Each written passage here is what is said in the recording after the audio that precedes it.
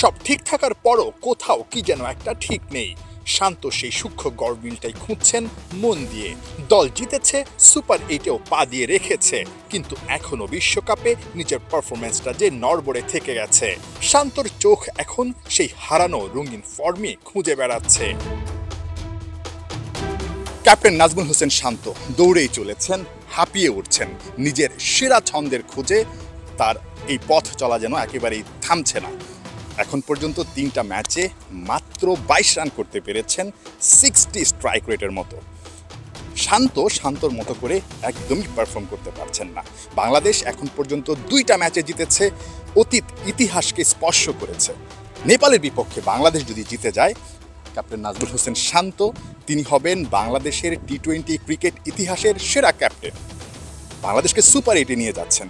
কিন্তু এরপরও কিন্তু তার এই যে হাঁপিয়ে চলা কিংবা তার এই যে কষ্টটা মনের মধ্যে কিন্তু থেকেই যাচ্ছে।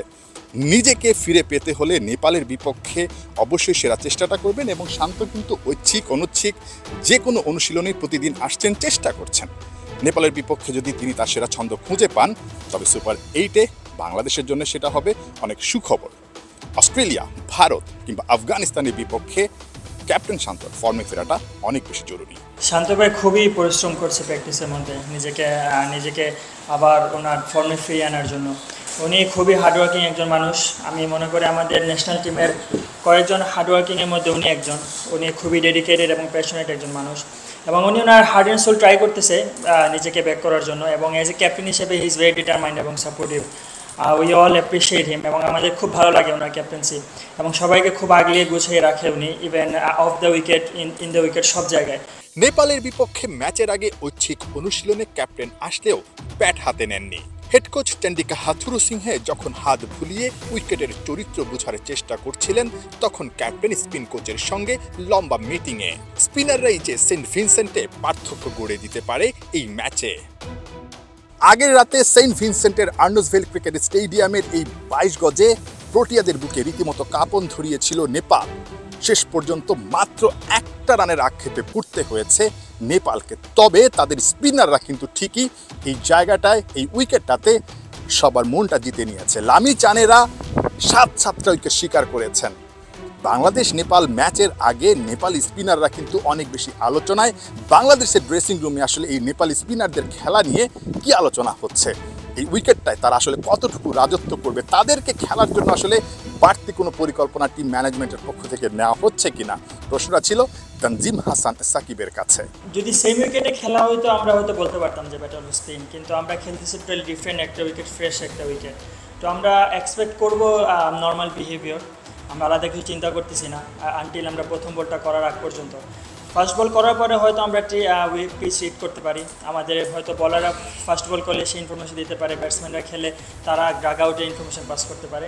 সো আনটিল ফার্স্ট বল আমরা কোনো কিছু ডিসাইড করতেছি না, আমরা আমরা পজিটিভ চিন্তা করতেছি উইকেট নিয়ে। বাংলাদেশ নেপাল ম্যাচের দিনে সেন্ট ভিনসেন্টে ঈদুল আজহা। বারবার ফিরে আসছে দু হাজার তিন সালের দুঃসহ স্মৃতিটা সেবার চাঁদ রাতে কানাডার কাছে হেরে পুরো দেশকে টাইগাররা ভাসিয়েছিল শোকের সাগরে। এবার অন্তত তেমনটা হবে না, সেই বিশ্বাস পুরো দলের আছে। সাকিব, রিয়াদ, তাসকিন, লিটনরা বিশ্রামে কাটালেও যারা মাঠে এসেছেন, সবাই সিরিয়াস প্র্যাকটিস সেরেছেন সাগর পাড়ের নান্দনিক এই স্টেডিয়ামে। নেপাল বাংলাদেশ ম্যাচটা বাংলাদেশের জন্য অনেকটা আনুষ্ঠানিকতা। তবে এই ম্যাচটাতে বাংলাদেশ অবশ্যই জয় চায়, কারণ বিশ্বকাপ ইতিহাসের সেরা তিনটা জয় নিয়ে আসলে তারা সুপার এইটে পা রাখতে চায়। এই ম্যাচটাতে বাংলাদেশের পরীক্ষা নিরীক্ষার বেশ কিছু সুযোগ আছে। শরীফুল ইসলাম ইঞ্জুরিতে গিয়েছিলেন, ইঞ্জুরি থেকে ফেরার জন্য তিনি অপেক্ষায় আছেন। যেহেতু এই ম্যাচটায় খুব বেশি প্রেশার নেই, সুতরাং শরীফুলকে সুপার এইটের আগে এই ম্যাচটাতে দেখে নেওয়ার একটা সুযোগ আছে। একই সঙ্গে প্র্যাকটিস দেখে যেটা মনে হয়েছে স্পিনার তানভীর ইসলামকেও খেলানোর একটা সুযোগ কিন্তু আছে টিম ম্যানেজমেন্টের এবং এই সুযোগটা তারা নিতে চায়। প্র্যাকটিসে তানভীর ইসলামকে নিয়ে লম্বা সময় ধরে আসলে কোচিং স্টাফরা কাজ করেছেন। ব্যাটিং, বোলিং দুই ডিপার্টমেন্টেই। সুতরাং নেপালের বিপক্ষে বাংলাদেশ দল সেরা একাদশটাই নামাবে, তবে সেখানে টুকটাক পরীক্ষা নিরীক্ষারও কিন্তু একটা সুযোগ থাকছে। নাহিন বিন জসিম একাত্তর, সেন্ট ভিনসেন্ট, ওয়েস্ট ইন্ডিজ।